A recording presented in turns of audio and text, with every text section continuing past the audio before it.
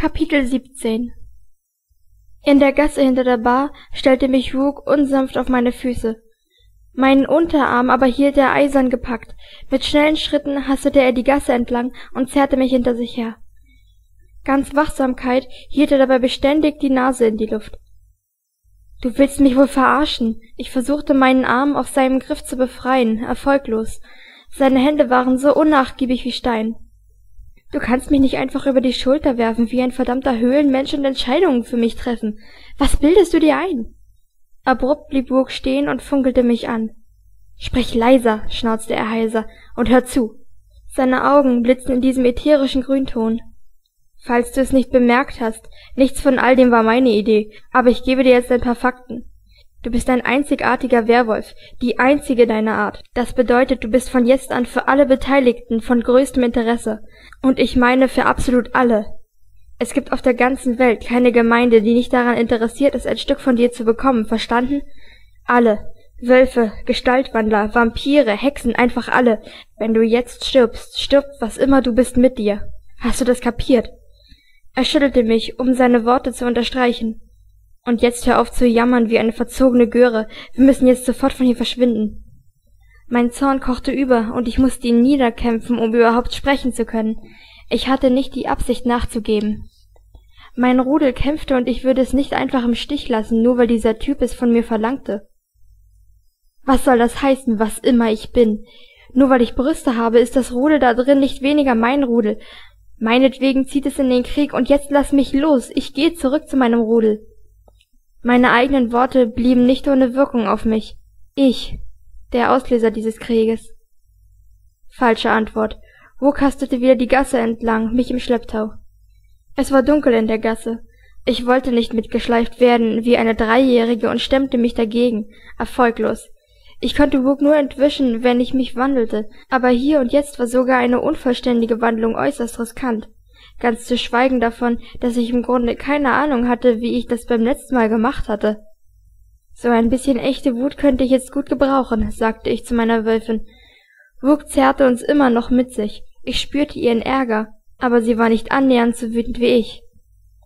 Ich dachte, wir dürften die Bahn nicht mit dem Kerl verlassen, diesem furchterregenden Raubtier, diesem Tabu auf zwei Beinen, und jetzt schleift er uns hinter sich her wie ein bockiges Kleinkind. Er entführt uns. Werd endlich wütend. Meine Wölfin richtete die Ohren auf, und für eine kurze Sekunde spannten sich meine Muskeln. Ich geriet in Wallung. Aber sie konzentrierte sich gar nicht auf mich. Ihre Augen blickten voraus, suchten nach neuen Gefahrenquellen. Tolle Hilfe bist du. Während Wook mich weiter die Gasse hinunterschleifte, versuchte ich, mit ihm zu Während Wook mich weiter die Gasse hinunterschleifte, versuchte ich mit ihm zu verhandeln. Fangen wir noch mal ganz von vorne an, Wook. Ich glaube, wir haben einen Fehler gemacht. Ich muss zurück zu meinem Rudel. Wie der Blitz fuhr er zu mir herum und knurrte mich an. Sein Gesicht war nur ein paar Zentimeter von meinem entfernt.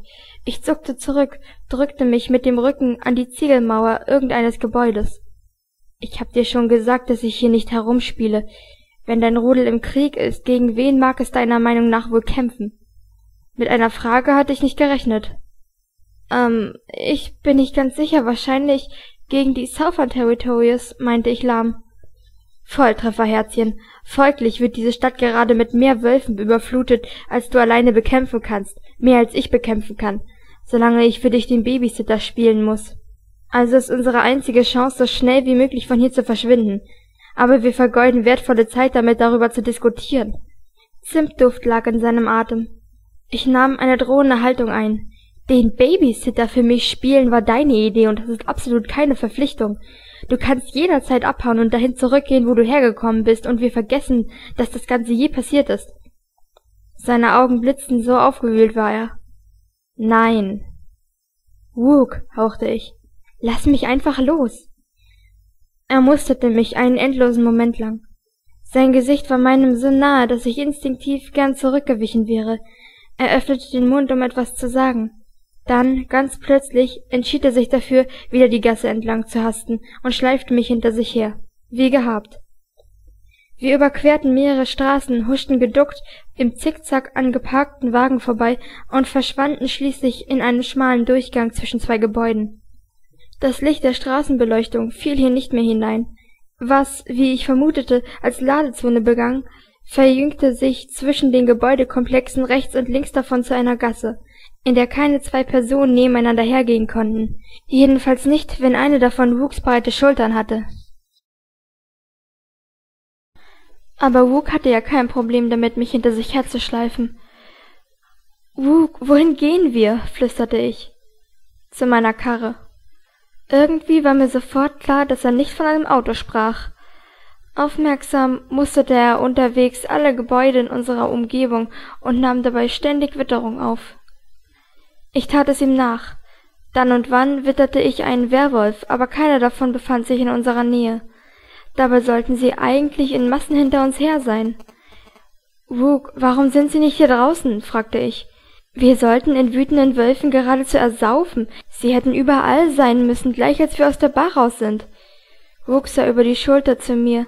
Seine Augen waren nun vollständig grün und glühten im Dunkel wie zwei Smaragdringe. Entweder dein Rudel beschäftigt sie zu sehr, oder hier geht noch was anderes vor. Er schnüffelte wieder und runzelte die Stirn. Mir gefällt das auch nicht. Es ist zu einfach. Irgendetwas stimmt nicht. Es fühlt sich nicht nach einem richtigen Krieg an. Es fühlt sich an, als würden sie etwas suchen. Noch einmal versuchte ich, mich seinem Griff zu entwinden und erntete ein leises Knurren. Mach so weiter und ich schmeiß dich wieder über die Schulter. Wir ließen die letzten beiden Gebäude hinter uns und kamen auf einer Straße heraus, der wir dicht an den Fassaden der Geschäfte entlang folgten. Die Gegend war mir vertraut. Dies war der letzte Block, ehe das Viertel an den Eisenbahnschienen endete. Die Gleise verliefen direkt von einem trockengefallenen Hochwasserschutzkanal über die Straße. Die Gegend sah genauso aus, wie man es erwarten dürfte. Eine lange Reihe alter, heruntergekommener Häuser, von denen die meisten schon seit Jahren leer standen. Jenseits der Schienen führte ein Highway über die Hochstraße in die Ferne. Häuser gab es dort nicht mehr. Vor uns noch ein Stück die Straße hinunter sah ich ein einsames Motorrad in einem Arkadengang vor einem aufgelassenen Geschäft parken. Wie hast du es geschafft, heute Abend ungesehen von hier aus bis zur Bar zu kommen? fragte ich neugierig. Ich bin schon seit gestern hier, hab auf dem Dach der Bar geschlafen und bin die Feuerleiter runter. Auch eine Möglichkeit, lästige Katze. Wug zuckte mit den Schultern. Das war nicht sonderlich schwer. Nachdem ich dir meinen Namen genannt hatte, war klar, dass dein Rudel alle strategisch in Frage kommenden Örtlichkeiten ausschnüffelt. Die Straße hier fällt nicht darunter. Er zeigte voraus. Das ist eine Sackgasse. Zurück geht's also nur wieder in Richtung, aus der wir gekommen sind. Und wenn wir jetzt in der Falle sitzen, kommen wir dann gar nicht mehr hier raus? Mit einem Nicken deutete er in Richtung Bahndamm und Hochwasserkanal. Diese trennte nur ein verrosteter Maschendrahtzaun vom Wohnviertel. Vom Gleisbett aus führte dann noch eine Böschung hinunter in den Kanal, die bis zur Hälfte Gras und Unkraut bewachsen war ehe sie in rissig gewordenen alten Beton überging. Das war alles, was man dem Fluss, der nur bei Extremregen existierte, als Bett gelassen hatte. Darüber? Wie soll das gehen? Es gab in beiden Richtungen auf beinahe zweieinhalb Kilometern keine ernstzunehmende Bahnübergänge. Wir fahren, Herzchen. Hä? Gebrüll wurde hinter uns laut. Wuchs Griff um meinen Arm, spannte sich und er lief noch schneller weiter. Als wir beinahe die altwürdige Harley Davidson erreicht hatten, drehte ich mich um und sah ihn. Jemanden, der in hohem Tempo um die Ecke raste und dabei wilde Flüche über die Schulter brüllte. Jemanden, der mir allzu vertraut war. Herrgott nochmal! Tyler! schrie ich. Schlitternd kam er zum Stehen. Seine Augen leuchteten golden, sein Hemd war zerfetzt und voller dunkler Flecken. Ist das da Blut? Bist du verletzt? schrie ich und versuchte mit aller Kraft mich loszureißen, aber Wook hielt mich nach wie vor fest. Tyler, antworte mir. Dann drehte ich mich wieder um. Wook, lass mich los. Tyler rannte auf mich zu. Verdammt, lass sie los, Katze. Wooks Muskeln unter der Lederjacke spannten sich an. Er machte sich kampfbereit. Mich loszulassen war offenbar keine Option. Ehe Tyler uns erreichen konnte, schleuderte hinter ihm, wie die typische UV-Lackierung verriet, ein Miettruck um die Ecke. Offenbar hatte sich Tylers Angreifer eine Fahrgelegenheit organisiert. Der Truck bremste mit quietschenden Reifen. Die Hinterachse brach seitwärts aus, so dass der Truck erst zum Stehen kam, als er die Straße vollständig blockierte. Da die Sackgasse, dort ein U-Haul-Truck voller Southern-Werwölfe. Wir sitzen gottverdammt in der Falle, donnerte Rook. Rauf auf den Sozius, los! Gegen meinen Willen zerrte er mich die letzten paar Schritte zu seinem Motorrad und schubste mich darauf zu, während er von der anderen Seite aufstieg. Schon hatte er den Seitenständer eingeklappt und den Motor gestartet, der brüllend zum Leben erwachte. Steig auf, sofort, übertönte Rook den Motorlärm der Maschine. Ich rührte mich nicht. Tyler hatte mich binnen zwei Schritten erreicht und packte mich am Arm. Was zum Teufel ist hier los? Warum bist du mit ihm abgehauen? Ich sah ihm an, dass er noch dabei war zu verarbeiten, was Wook gerade gesagt hatte. James hat beschlossen, ihm zu vertrauen, erklärte ich rasch. Und Dad hat ihn unterstützt. Wook hat mich aus der Bar gebracht, als der Kampf gerade losgegangen ist, und dann hierher geführt. Gegen meinen Willen, aber das verschwieg ich Tyler. Denn er konnte sich auch so ein Bild machen. Vermutlich war Vater in der Bar immer noch in einen Kampf verstrickt, Andernfalls wäre das Rudel über meinen Verbleib oder zumindest über die Person, die bei mir war, längst informiert. Jess, du musst von hier verschwinden, flehte mich Tyler an. Wir sind mitten im Krieg, und du bist die Kriegsbeute, um die es geht. Du musst weg sofort, auch wenn dir keine andere Möglichkeit bleibt, als mit dieser verfluchten Katze zu gehen. Widerwille stand ihm ins Gesicht geschrieben, aber ich wusste, er würde sich fügen, da sein Alpha die Sache bereits sanktioniert hatte. Verdammt. Tyler, ich will nicht weg. Ich will bleiben und kämpfen. Mein Platz ist hier, bei meinem Rudel. Ich will nicht behütet werden wie ein zerbrechlicher Gegenstand. Die Türen des Trucks sprangen auf und ein halbes Dutzend fremder Wölfe in menschlicher Gestalt rannte auf uns zu. Es blieb keine Zeit, um sich einen Plan zurechtzulegen. Keine zwei Sekunden und sie hätten uns erreicht. Tyler stieß mich hinter sich, um mich mit seinem Körper zu decken. Dabei schubste er mich auf Rook zu und schrie, Hau ab! Hau zum Teufel noch mal ab, solange du noch kannst! Nein! Ich will kämpfen! Lass mich dir helfen! rief ich. Ich kann kämpfen! Nein! Nein! Er schaltete auf mentale Kommunikation um. Jessica, bitte, du kannst es nicht. Du bist noch nicht für den Kampf geschult. Und ich kann dich nicht beschützen und gleichzeitig kämpfen. Du bringst uns nur beide in Gefahr, wenn du bleibst. Ich kann dich doch nicht im Stich lassen. Nein, niemals. Ich kneife nicht. Hast du mich verstanden? Tyler ignorierte mich und starrte Wook an. Bring sie hier weg, Katze. Außer dir ist niemand mehr da, aber fass sie bloß einmal falsch an, dann schwöre ich dir, reiß ich dich mit bloßen Händen in Stücke. Hast du verstanden? Ich schwöre es bei meinem Leben. Tyler sah mich wieder an. Geh, Jess. Das ist dein Befehl. Los jetzt. Zur Antwort drehte der Motorradmotor hoch. Reifen quietschten hinter mir, doch ehe Hug bei mir war, riss ich mich von Tyler los, der mich Hug entgegenstoßen wollte, und zog blitzschnell beide Wurfmesser aus meinen Ärmeln. Vornübergebeugt brachte ich mich in Wurfposition. Ohne das geringste Zögern warf ich die beiden Messer auf die beiden angreifenden Wölfe, die uns am nächsten waren. Die eine Klinge durchbohrte mit einem befriedigend satten Laut die Luftröhre des einen Wolfes, ein Volltreffer. Der Getroffene ging zu meiner großen Genugtuung auch gleich zu Boden, die andere Klinge jedoch verfehlte ihr Ziel. Sie bohrte sich in die Schulter des zweiten Angreifers, ohne dabei großen Schaden anzurichten. Es hielt ihn nicht auf, sondern brachte ihn nur noch mehr in Rage. Kurz blieb er stehen, um sich das Messer herauszureichen, und knurrte bösartig. Jetzt geht's los. Meine Wölfin heulte. Tyler sprang vor. Er hatte keine Wahl, er musste die beiden nächsten Wölfe angreifen. Geduckt nahm ich Kampfhaltung ein. Endlich. Endlich kamen die Muskeln unter meiner Haut in Bewegung, wuchsen und dehnten sich, veränderten sich, bereiteten mich auf den Kampf vor. Der wütende Wolf, dessen Schulter ich getroffen hatte, hatte mich beinahe erreicht. Sobald der Scheißkerl seine schmutzigen Hände nach meiner Kehle ausstreckte, würde ich ihn zu Boden schicken. Meine Augen fixierten ihn wie Laserstrahlen. Er dachte, ich wäre schwach. Falsch gedacht.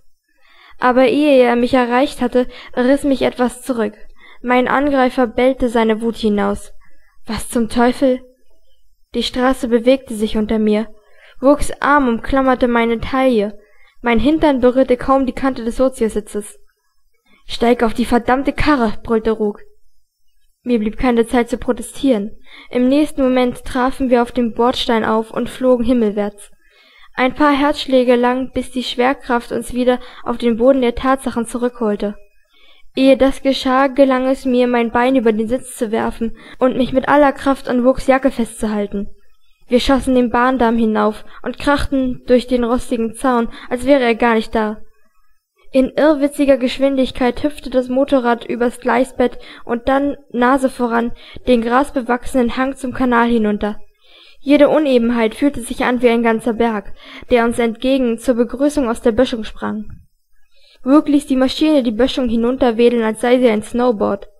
Erst im letzten Moment brachte er das Gefährt auf Parallelkurs zum Kanalbett, kurz bevor wir auf dem Betonboden auftrafen.